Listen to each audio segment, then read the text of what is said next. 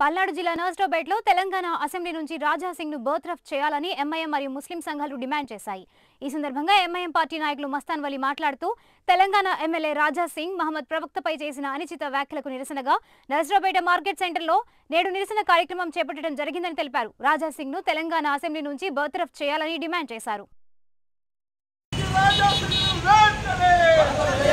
హైదరాబాద్ బహిష్కరణ చేయాలి రాజా సింగ్ రెండు రోజుల క్రితం తెలంగాణ బీజేపీ ఎమ్మెల్యే రాజా సింగ్ ఏదైతే వ్యాఖ్యలు చేశాడో మహమ్మద్ ప్రవక్త గారిపై ఆ వ్యాఖ్యలకు నిరసనగా ఈరోజు పల్నాడు జిల్లా ముఖ్య కేంద్రం నర్సాపేట మార్కెట్ సెంటర్లో నిరసన కార్యక్రమం చేయడం జరిగింది.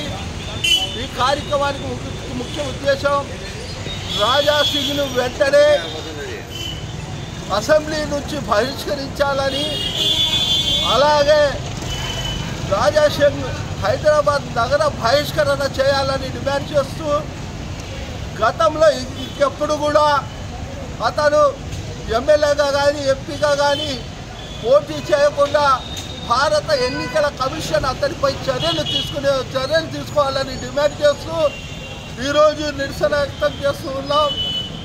అలాగే ఈ దేశంలో హిందూ ముస్లిం క్రైస్తవ సిక్కు సికాయి అందరూ కూడా ఒక కుటుంబం ఒక కుటుంబ సభ్యుల్లాగా జీవిస్తున్న తరుణంలో ఇలాంటి మాట్లాడటం అనేది శోచనీయం.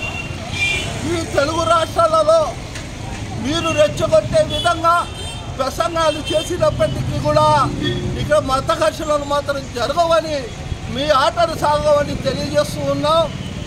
ముఖ్యంగా రాజాసింగ్ లాంటి వారికి తెలియజేస్తూ ఉన్నాం. నీవు ఎక్కడి నుంచి వచ్చావో ఏం చేశావో ఇవాళ ఎమ్మెల్యేగా ఎక్కడానికి కారణం ఏంటో జనం మొత్తానికి తెలుసు. ఇక నీ ఆటలు సాగవు రాజాసింగ్. నువ్వు మాత్రం ఇక బలి పశువు కాక తప్పదని తెలియజేస్తూ ఉన్నాం. నీ పతనానికి నాందే మహమ్మద్ ప్రవక్త గారిపై వ్యాఖ్యాలని తెలియజేస్తూ ఉన్నాం.